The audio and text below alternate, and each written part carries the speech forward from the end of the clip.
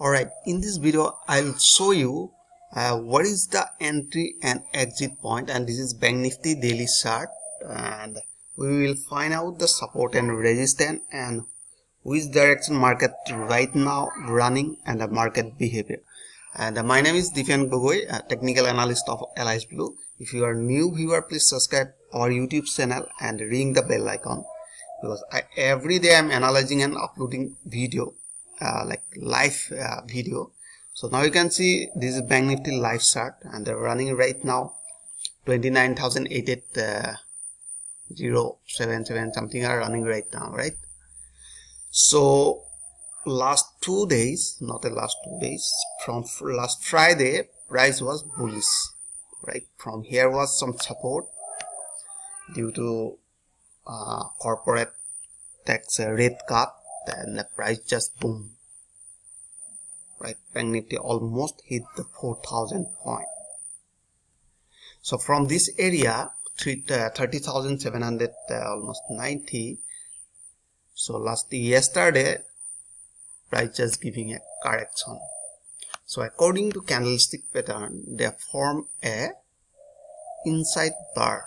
So have you seen this was long bullish candle? So after that small uh, bearish candle they are not able to break this higher and the lower entire day was inside this previous day candle. So when they are forming this is called inside bar or you can say bearish uh, harami pattern right? So let me tell you what is the supporting line next. Price is falling right? So we have seen according to the previous market behavior so we have seen this was resistant are there and somewhere support are there. Somewhere support. So we drawn a supporting line. So now we have seen this is called uh, trading zone. Right. So we are looking for if they break this area so that means this candlestick pattern so definitely we will go for short for few minute uh, few point. Remember this one uh, toward 28,959 so here we have seen another support other so most recent support. So we have to close our position in this area. But still we are not confirm either they will break this level or not right?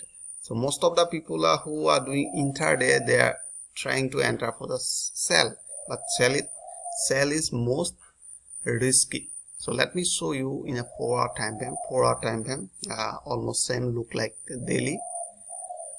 And now you can see in a 15 time frame so 15 time frame we have seen prices creating lower low lower high and lower low. So you must close your position around uh, 29,526 so it's a high probability to bounce back from this again. Or next if they break this level so we can select price might bounce from this area. So basically i am uh, i just uh, looking for buy because i'm looking for buy above this supporting area or above this supporting area because i'm not interested to take any sell position. So i hope you enjoy this video. If you like this video please like and subscribe. Thanks for watching